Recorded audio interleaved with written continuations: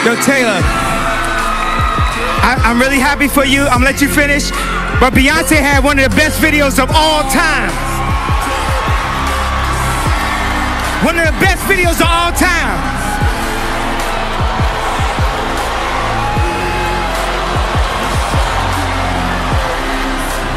I first met Kanye West six years ago at this show, actually.